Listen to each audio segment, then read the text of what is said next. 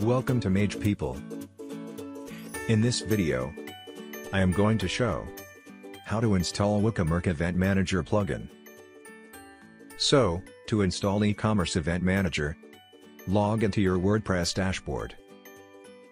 Once you are logged in, scroll down and hover your mouse over Plugins option, and click on Add New. At Search Console, search for WooCommerce Event Manager. Click on Install Now. Once it gets installed, click on Active button to activate this plugin. Now to add an event. Hover your mouse on Event option. From drop-down list, click on Add New Event. This will open a new form where you can input your event details. Add your event title here. If you want to add your event description you can add it from here. From here you can add event venue details such as Event location Event street City State Postcode Country and even you can synchronize Google Map. To add extra service to the events, click on Add Extra Price and fill up with detail information. To add event ticket type and pricing, click on Add New Ticket Types.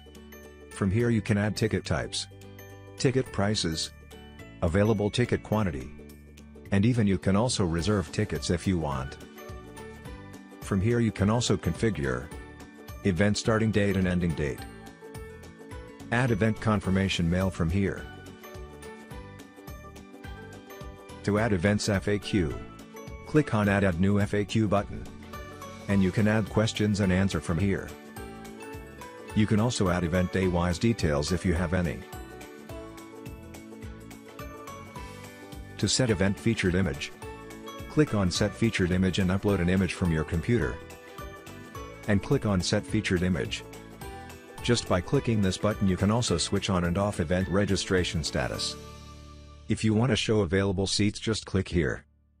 Once everything is done just click on the preview button to see how it looks.